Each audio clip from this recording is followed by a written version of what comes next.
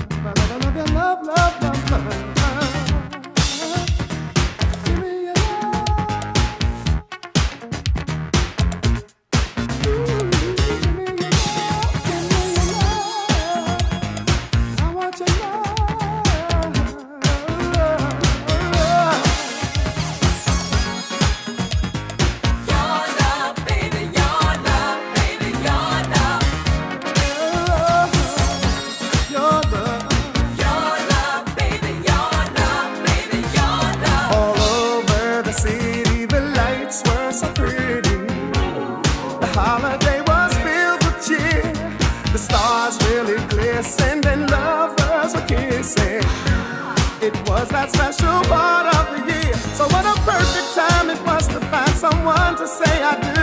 Thought that I could still be happy even though she wasn't you. We had told the world that we